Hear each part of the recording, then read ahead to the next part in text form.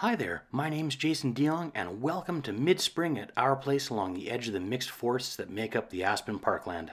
My channel's been dormant for a couple years while my world's been spinning around the energy and power generation industries, but now, with the COVID 19 and energy crisis in full swing, work's been suspended for a bit.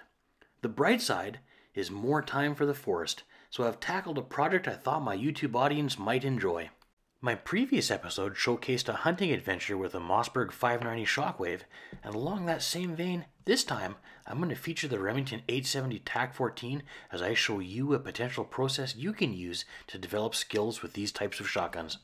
I'm also going to take you out on a bird hunting adventure to show you firsthand how you could deploy these skills with a TAC 14 in the field.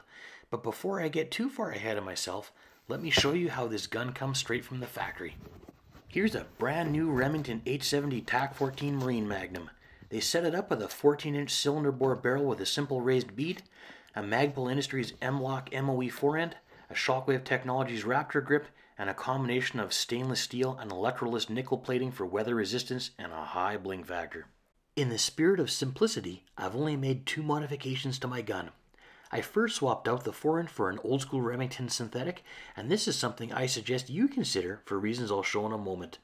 Then, I drilled some dimples to install a plus one extension. The technique I'm going to encourage you to try involves sighting down the top of the gun, meaning you have to hold it in front of your face, and with the Magpul forend, this is kind of uncomfortably close. But with the longer length of the OEM old school Remington, I can gain a couple of precious inches of additional standoff that also creates the benefit of increased sight radius. For 12 gauge shotguns equipped with only a pistol grip, recoil can be a significant issue even when bearing down and shooting with both hands. Yikes! This is particularly true with heavier loads, and if you're not careful, you might wind up taking a powerful, painful shot right to your face. When this happens, it drives people to adopt a shoot from the hip mentality, and as you can see here, this is not a technique easily learned with any form of accuracy, despite having about the highest badass factor you could ever imagine. So if you're okay with walking your shots into your target, carry on, but I propose something different.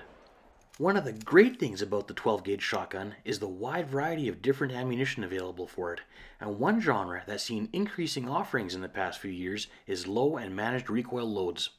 Not only limited to low recoil target loads, these days there's also a pretty good selection of managed recoil slugs and buckshot. I've hunted with low recoil buck in the past to great effect, and this fall I'm planning on a big game hunt with Remington's managed recoil slugs.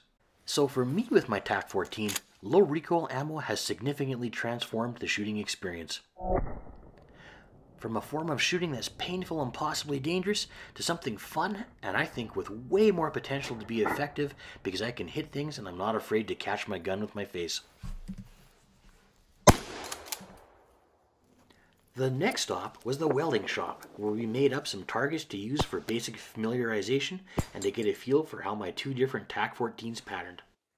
What you're looking at now is what I came up with for a sturdy yet simple, resettable yet portable hinged knockdown plate that's great because it provides instant hit or miss feedback and has no consumable costs.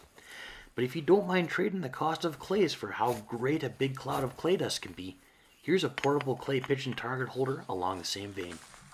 Rather than just boring old pattern board tests, I like to get a feel for patterning shot by using a combination of these two target types, I started by setting up a static clay range in 7 yard increments.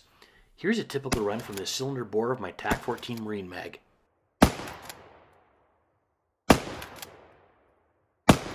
You can see that the resulting pattern reliably breaks clays out to 28 yards, but I struggle with a 35 yard clay and repeating the same run about a dozen times generated similar results. Occasionally, I'd get a first round hit on the 35 yard clay, but most often it would take three or four rounds to get a breaking hit. Now check out this TAC 14 police build with its fixed modified choke.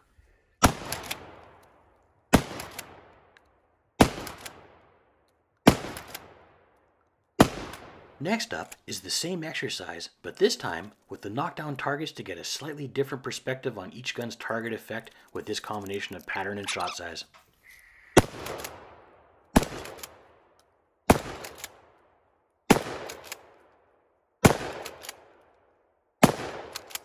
The fixed cylinder choke of my Marine Mag struggles with this long target too. There's just not enough pellet mass hitting with sufficient velocity to knock it over, and on almost every run I had to move up a few yards in order to knock it over. So how well did the fixed modified choke fare on my TAC 14 police build? Let's see.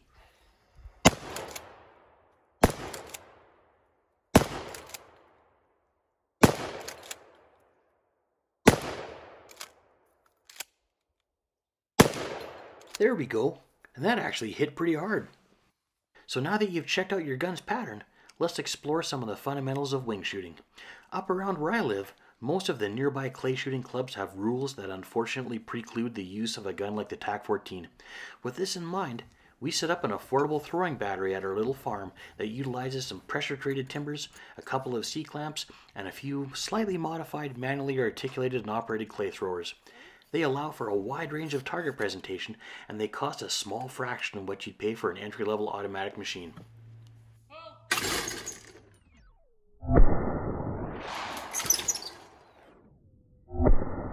My best friend and lovely bride offered to man the clay battery for a couple of hours, so we started out with what I think is the easiest shot to learn a simple floating incomer. Start with your gun just off the path of the bird and a little under your sight line. As you start to see the target, make your mount by bringing the gun into sight alignment, but hold your focus on that bird.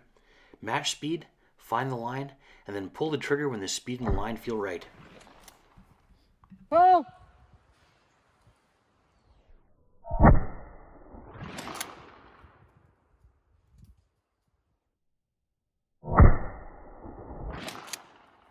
The next easiest target to learn is a target whose trajectory makes it fly more or less straight away. Oh. Start your gun just under the line of the bird and a bit back from a breakpoint you imagine in your mind. As you see the bird, bring the gun into sight alignment and initiate movement towards the target. Just as your gun overtakes the target, that's when you pull the trigger. Oh!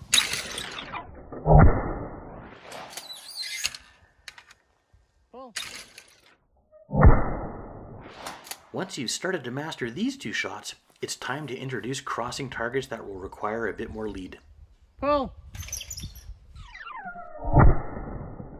A common and effective strategy to use for this type of bird is to keep the gun ahead of the target, essentially matching its speed but with a gap of lead. As you swing, things should look like they're floating. Another principle you might want to consider is to make a strong effort to imagine the place you'll break the target, and then to set your stance to be strongest and best aligned at this point. Once you've done this, you can move your gun back to a point approximately halfway between your breakpoint and where you can clearly see the bird. Start your gun here, but then pull your eyes back to that place where you first clearly see the bird, breathe, and call for the target. Initiate your gun movement as you see the bird, and you'll be shooting what folks call sustained lead as you then play out the plan you just made.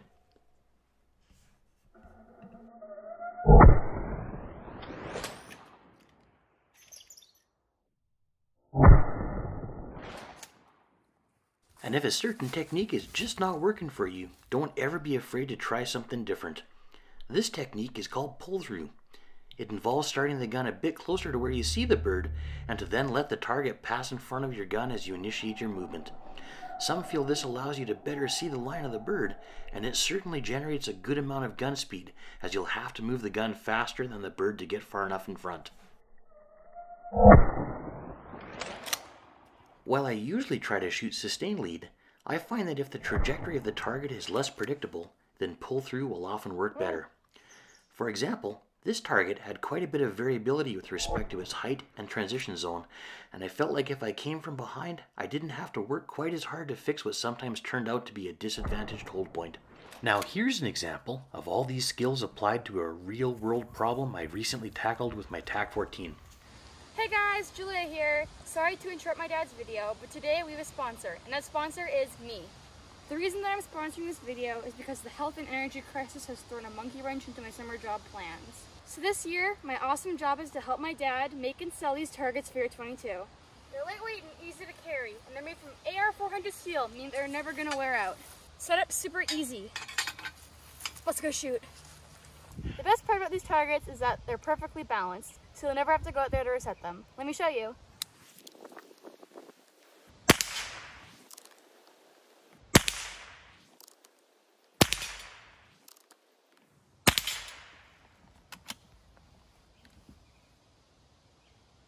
You're interested in buying them, please check the link in the description. So far, these are the only two that we have on sale, but if we manage to sell 100 of them, we will release the second edition. Sorry for interrupting my dad's video. Thank you for watching my segment. Goodbye! We arrived one day at our little farm to discover that a huge cloud of crows and ravens had descended into our woods. Several hundred birds had moved in, and over the next couple of weeks we sure enjoyed a good show. That is, until they picked the eyes out of two newborn calves and started preying on all the small fledgling birds. Worried our woods would lose all their songbird chicks, we set out to bring things back into balance.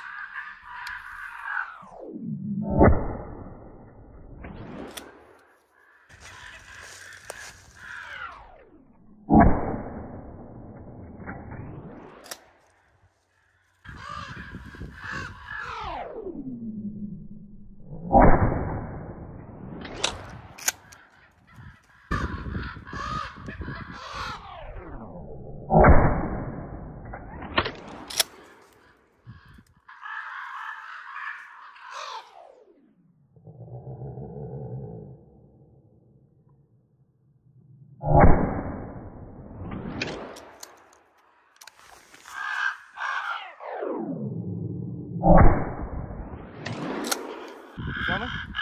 Yep.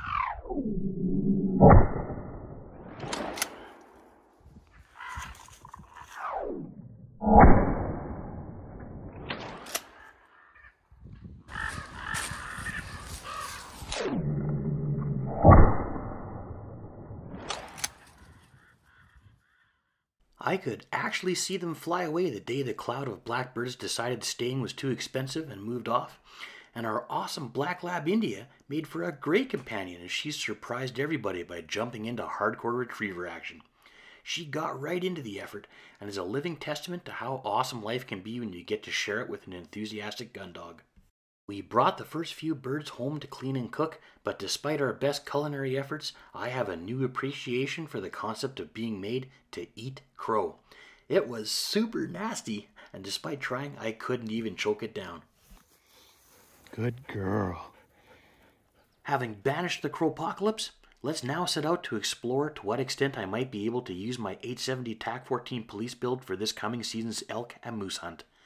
Rather than live with the limited penetration characteristics of buckshot, I figured slugs would be more appropriate for these large ungulates.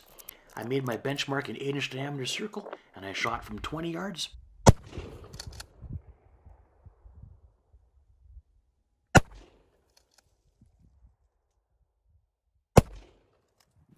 From 35 yards.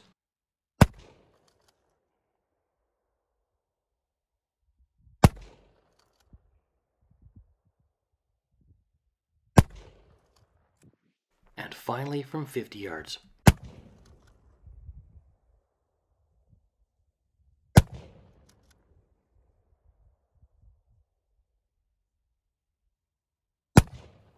Oh no, I threw the last one.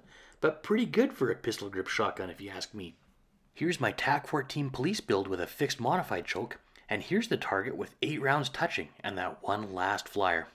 Based on this, I think I'd feel pretty confident to hunt at ranges up to 50 yards, so let's now get a quick feel for what the slugs are like in a non-compressible target media. While I would have preferred using ballistics gel for this, it wasn't to be with this year's budget, so I went instead with SLU water pumped into a couple of old Tupperware totes. In my first attempt, I had the rear tub rotated 90 degrees to what you see here, and both slugs penetrated the entire length, never to be found. But with this longer orientation, I then recovered both slugs, and that's what you're looking at now. I believe all of the slug compression you see here happens upon firing, and it seems that the slugs hold together well while penetrating appropriately deep for moose and elk. Here's an unfired example of this classically styled hollow base rifled lead Foster slug. The rifling allows the slug to safely pass through a variety of chokes, and if you check out its cross section, you can see that it's quite heavy at the front, yet with pretty thin walls towards the back. The result is that when fired, the slug compresses quite a bit to form a thick pancake that swaged through the choke of the gun. How about their terminal effect? Well, if you'd like to see how these slugs perform out of the Remington 870 TAC 14 on a hunt for close range moose or elk, please consider subscribing, as this will be my 2020 hunting adventure. And lastly, if you enjoyed this video and would like to support our channel, please consider checking out our rimfire targets by visiting the link below. Thanks so much for watching. We'll see you next time.